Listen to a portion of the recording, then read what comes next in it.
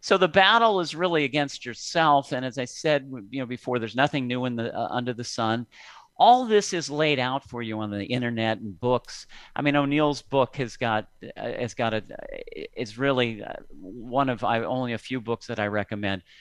But uh, when I was starting, the 1982, and I joined a William O'Neil and Company, he actually he wasn't doing any seminars. He wasn't laying all this out. He hadn't really developed Can Slim.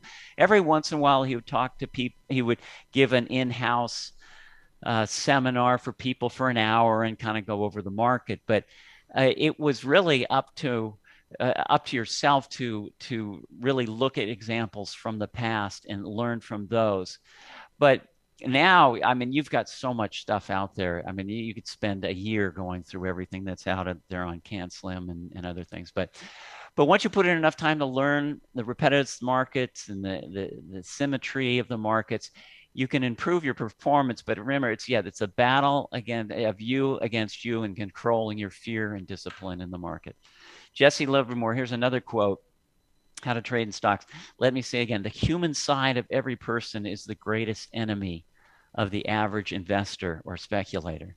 So there's a lot of great human wisdom out there on the markets too. And so i, I would like to mix that in. Don't make the market so complicated.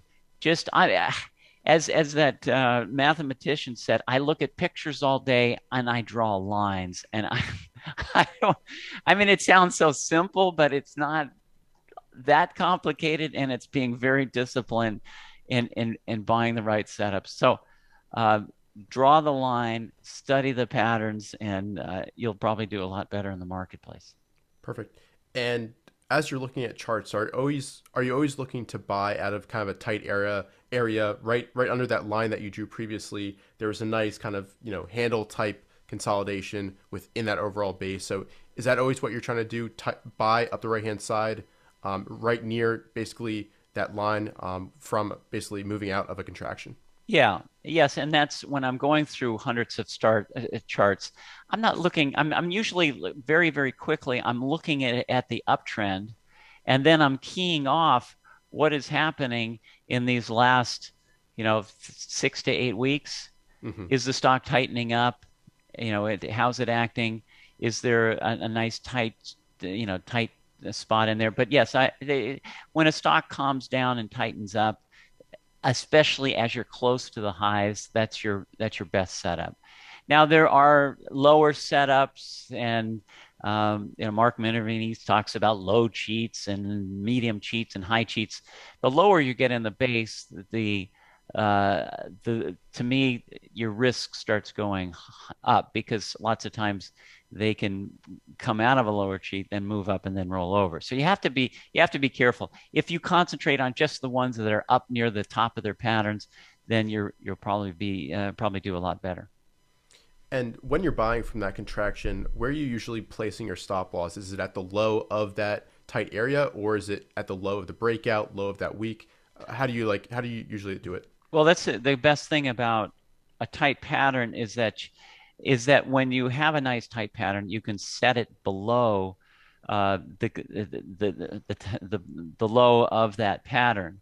And usually that's not that's not even close to 8%. It's usually like 3 or 4%. And so that's what's great about buying off a very tight formation is that um, is that you can limit your risk and you know the whole thing i mean we didn't even get into risk management and cutting your losses but uh, but you know, every time I'm buying, I, I do not want any any loss to go above you know eight percent, and uh, most of my losses are much smaller than that. If I have if I have one fault, I probably take my losses too quickly and I get out of a stock, and then it sits there and turns and then takes off and goes without me.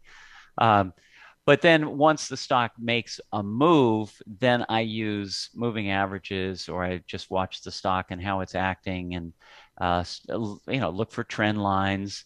So, you know, maybe after the stock breaks out, makes this move and starts, you know, breaking this trend line or breaking some moving averages, then I might cut back on the on the stock or sell it out, uh, outright. Perfect. And um, there's a question going back to uh, when you competed in the championship. Uh, let me bring it up here. Uh, so it's from Elizabeth. A question for David How did you overcome the pressure from focusing on the competition results and shifting to focus on the rules and process? Thank you. Well, that's, yeah, and I, I mentioned that earlier. It's best not actually to even look at your your your uh, your equity in your account and how it's moving every day is is just looking is just concentrating on the rules that you enact.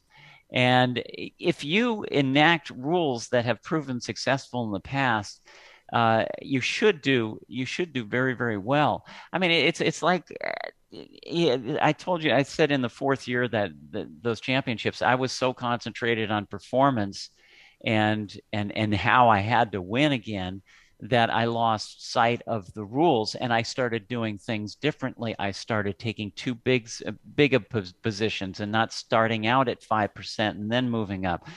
Um, you know, and, and, so I started doing things differently. I started breaking the rules. So it's, it's trying to just get, you know, don't look at your equity. Don't look at your profit and loss all the time, but just enact the rules day in and day out. And, and that, and the equity is going to take care of itself if if you're doing if you're enacting the rules correctly. Perfect. And going back to that post analysis you did that that really gave you some perspective. I'd love to hear your advice for traders out there who are doing post analysis. What should they look for? How should they mark up their charts? And and what should what how can they find those ultimate takeaways that can really change their performance? Yeah well, what you can do now i mean you can either print the chart out which uh, you can do and then write all the reasons why you're you're you're buying the stock at that point also circling the different characteristics that you're looking for um, different indicators you're looking for on the chart. You can do that and then then you know put it into the book or you can screenshot it and then and then mark it up and then you know put that into a file and then after you after you sell it then also print out a chart or screenshot a chart of the the, the move that that that made. And then you go back and you study okay well did i make money in this? Did i lose money? Uh, and and jot down maybe the reasons of oh it's it's amazing how you can go back months later and look at a stock and go i can't even believe i bought that stock. What was i thinking and so, and lots of times patterns will start developing of, of the same thing you're doing over and over again, which is wrong and why you're losing money. So that, that's why it's as, you know, almost more important to study your losers than it is to study your, your winners because it's actually painful, but you have to go through that. You have to, or have somebody do it for you and be able to have, uh, you know, you know, an ego that's small enough that somebody can actually tell you, hey, you might be doing something wrong here right. but most people don't want you know want to do that